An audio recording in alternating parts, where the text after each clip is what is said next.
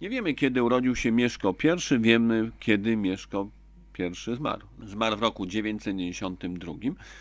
Jak już mówiłem poprzednio, Mieszko obok syna z małżeństwa z Dobrawą, Bolesława Chrobrego, miał również dzieci z małżeństwa z Odą, miał też synów i chciał podzielić Polskę pomiędzy wszystkich swoich synów, zarówno z pierwszego, jak i drugiego małżeństwa.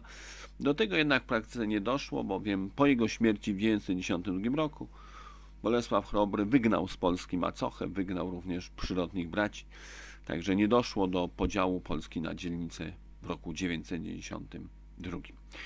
Pięć lat później dochodzi do wydarzenia, które nazywamy misją świętego Wojciecha. Przybywa do Polski biskup praski Wojciech, wygnany z Pragi i prosi władcę Polski, księcia Bolesława o pomoc w zorganizowaniu wyprawy misyjnej do Prus.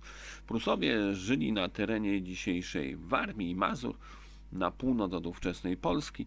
Byli poganami. Biskup praski chciał ich nawracać słowem, dobrym przykładem, Ewangelią.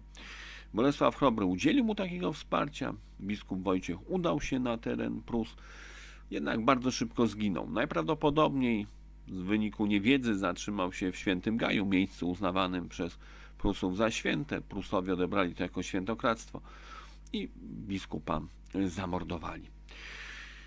Biskup Wojciech nie nawrócił Prusów, niewiele zdziałał, wyprawa misyjna była krótka, ale poniósł śmierć męczeńską, ale zginął chcąc nieść Ewangelię poganom. Y, jego śmierć nagłośniona umiejętnie przez Bolesława Chrobrego odbiła się szerokim echem w świecie. Bolesław Chrobry zrozumiał też, że ma doskonałą okazję, aby mieć w Polsce relikwie, aby mieć w Polsce swojego świętego. Dlatego, jak twierdzi Galanonim, wykupił zwłoki świętego Wojciecha za cenę złota. Galanonim twierdzi, że zapłacił za nie tyle, ile one ważyły. I rozpoczęły się starania o kanonizację kupa Wojciecha jako męczennika. Jego męczeństwo było bowiem tutaj bezsporne. I tak się rzeczywiście stało. Biskup Wojciech został ogłoszony świętym, a Polska zyskała relikwię świętego, rzecz w średniowieczu niesłychanie ważna. Uzyskanie relikwii ułatwiało staranie o uzyskanie metropolii w Polsce, metropolii czy arcybiskupstwa, w strukturze kościelnej pomiędzy diecezją, na czele której stoi biskup, a mm, papiestwem, a stolicą apostolską są prowincje kościelne, tak zwane metropolie, na ich czele stoi arcybiskup. No i właśnie udało się w 1999 roku uzyskać zgodę na powstanie takiej metropolii na ziemiach polskich z siedzibą w Gnieźnie.